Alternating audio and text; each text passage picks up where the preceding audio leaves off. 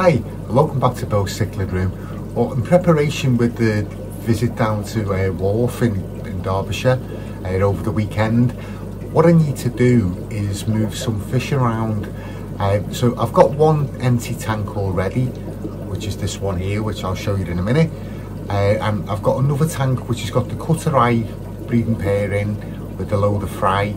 It's got two minor eye in it and it's got a Nicaragua Gwent. So if I move those as well, that frees me up with two different tanks. So looking at the list at Wharf and what I'm thinking of getting, it's they're actually from different places. So if I free up two tanks, uh, I'll be able to quarantine them correctly. So let's have a look, see what I'm going to move, uh, and then I'll try and catch them all, tidy the tank up a little bit, and get ready for the weekend. So these are the fish that I need to catch. So as you can see, there's two minor eye in there, two female minor eye. Uh, there's actually the pair of cutteri, which is these two here. There's a spare female, which is over here somewhere, and there's the Nicaragua Gwents.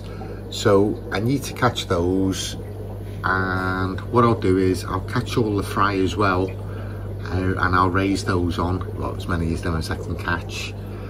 Uh, so if I do that, give this tank a good clean out and get it ready for um, for what I find at Wharf at the weekend.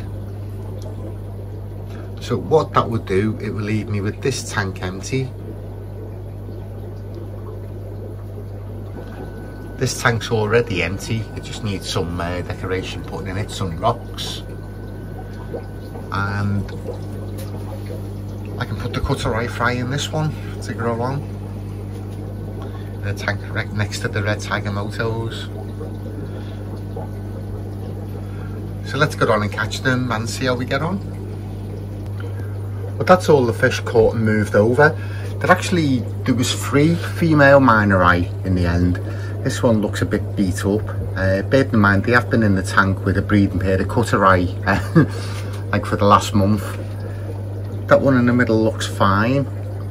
That's the spare female cutteri. And that's the other one. So I've put them in the tank with the Nicaragua Gwents.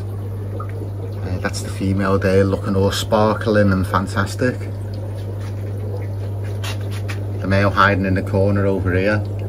Uh, I don't think he likes anything new going into his tank. Alright, so that's that's that tank with all those fish caught. Move on to the tank next it. This is where I put the, the male Nicaragua Gwents. You can spot him. He was definitely there two minutes ago.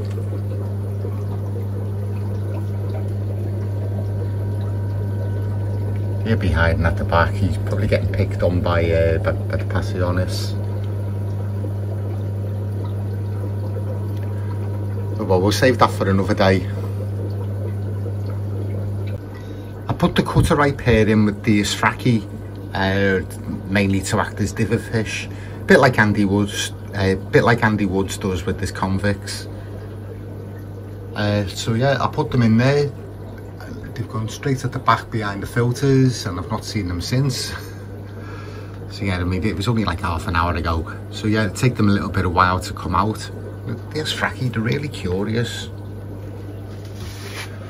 I put that spare plant pot in before and the four of them were over there all looking round it, investigating it every side. So yeah, they're fantastic these. Fantastic fish. So let's get some Barry White music on and see whether we can get them breeding.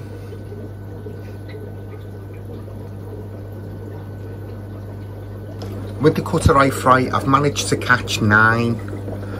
I'm sure I counted 15, 16 a couple of days ago, so they've probably been picked off.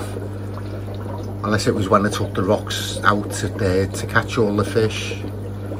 Like some of them might have, getting, might have got nibbled then. But yeah, let's grow these ones on and keep the line going.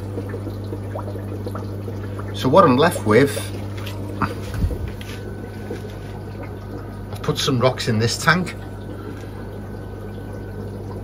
So this is for a species of fish. I'm just hoping that Wharf have still got them. But yeah, that's looking much better, that tank. Put some lights up for it as well. I've just put the heater in as well to get it up to temperature, all ready for the weekend.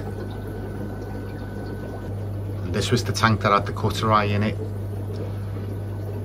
So yeah, I took everything out. I've give the, the sand a good rinse. Put all the decorations back in, cleaned out the filters. Just need to top the water level up but yeah I'll do that at the weekend and yeah so it's off to Wharf so probably the next video is going to be a shop tour of Wharf and what they've got in and uh, possibly what I've what I've actually brought back with me. But yeah really pleased with the fish room at the moment. It's uh, it is good when you get the good back uh, but it is good when you get the bug back. And uh, you've actually got some, some, space to go out and buy some new fish. So yeah all's well in the fish room at the moment.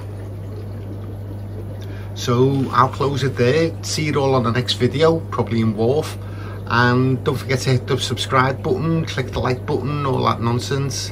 And I'll see you all on the next one